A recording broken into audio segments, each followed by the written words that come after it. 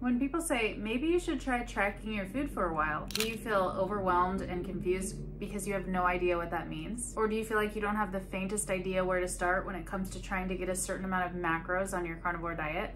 If so, I got you. Hi, I'm Jen, and if you're new here, I'm delighted to meet you. Today I'm gonna give you a quick little lesson on what it means to track your food retroactively, meaning you eat whatever you eat, but you track it so you have some objective data to look at later to see what you might need to be able to tweak and I'm gonna show you how to track trying to get a certain amount of macros, specifically 80% fat and 20% protein in a day. For this tracking lesson, we're gonna use Carb Manager because it's free, it's easy to use, and it's the most intuitive as far as a tracking for macros, like fat and protein percentages. This first example of tracking is for a person who isn't trying to achieve any particular goal. They're not trying to get a certain number of macros or number of protein grams or anything like that. It's just hey, I want to know more information about what I'm eating, so I'm going to track what I'm eating for the day just to get some objective data. I'll start by clicking this add breakfast button there. And then I ate four eggs for breakfast, so I'm going to type in the search bar eggs, choose from the options, and then you can see this moving numeral section here. I'm going to choose four and then click add. Now I'm going to go back into this search bar but get rid of eggs and you can see from the drop down menu I already had this particular bacon that I use and I'm going to put in three slices of that particular bacon. You can put custom store-bought foods in there by clicking the scan button at the top. It'll pull open a camera. I'm out on, on a walk with my dog so I can't show you how you'd scan the UPC code but that's what you do close out of this breakfast window and then you can look at your day's worth of food. Now you'll actually want to choose this add to log for each of the foods and it will officially add it. Scroll up and you can see this pie chart which shows you what percentage of calories you're getting from fat and protein. If it's not showing you the numbers, just tap the chart and it will show the numbers. Now we're going to scroll down to lunch and hit add lunch. I'm going to add ground beef 8515. Let's choose this one and then we'll go in and set the amount. It's using a weird measurement of very small patty. I'm going to change it to ounces and choose eight for half a pound. You'll want to make sure and hit lunch so it goes on the right meal. Then you'll just click add. Now we'll close out of this lunch menu and then add the hamburger to your log. Then you can scroll up and look at your updated macros for the whole day if you like to. For future reference, you can also look at the macros for this particular meal by choosing meal details from this list, and you can see the percentage of fat and protein and the number of fat and protein grams just for this meal. Now we'll scroll down and add dinner. I'm choosing beef ribeye steak, 12 ounces as well as two ounces of fat trimmings. You can see it says custom because I put that in myself by getting all the nutrient info from Google. Just like before, you'll add those foods to your log and then you can scroll up and see all your data for the day. You can see here that this day was 68% fat, 32% protein, and it was 191 grams of protein, 180 grams of fat and the total calories were 2430. Some ways that you might use that information, it could be many things.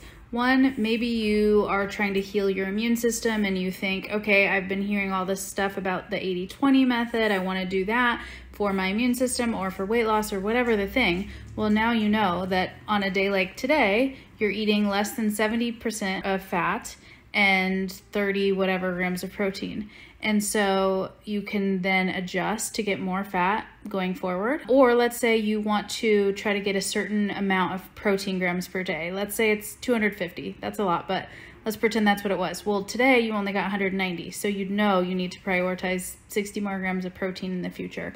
Or you could look and say, okay, I got this many calories. This is more or less than I want to be getting. And so you can adjust from there. This next example is going to be if you're trying to get 80% of your calories from fat.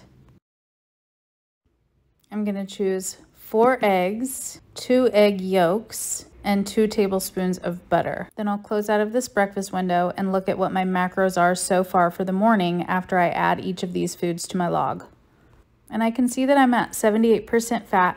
So I'm gonna go ahead and say I'll also have a cup of coffee and a tablespoon of heavy cream. in addition to the eggs and butter. The add breakfast tab that we used before is not there anymore. So I'm gonna hit the plus, then I'm gonna choose add food, and then I will add it that way.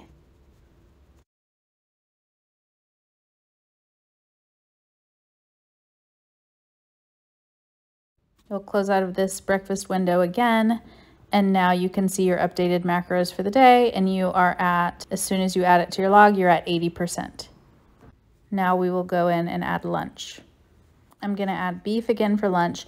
And I wanna point out, this is easiest if you sort of have an idea of what you're gonna eat for the day and you make this at the beginning of the day. That way, if you're having trouble fitting things in just right, you can go back and adjust. Let's say you may have to change something from lunch that you didn't realize until you were tracking your dinner. Because I want this day to be higher fat, I'm also gonna add in some butter to go with my burger patties. Add each food to the log and then you can look at this particular meal by going to meal details and see what the macros are just for your lunch. 71% fat, 29% protein. So I decide for now I'm just gonna leave that and see if I can get my dinner to be higher fat to make up for the difference because you see now I'm only at 75% fat for the whole day. Now let's add dinner. I'm gonna choose ribeye but knowing I'm trying to get more fat, I'm going to go fewer ounces of ribeye today than I did yesterday. And I'm going to add some fat trimmings. Add each of those foods to your log. And then you can scroll up and see you're at 76% fat for the day. So we're still a little bit under that 80%. Now I want to see how I can tweak things to change it a little bit. So here I decided I'm going to have some scrambled egg yolks cooked in butter to see if that will push me over the edge and give me enough fat.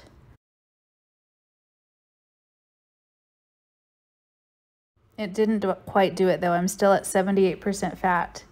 So I've got to figure out how I want to tweak. And I'm going to start by decreasing the ribeye from 8 ounces to 6.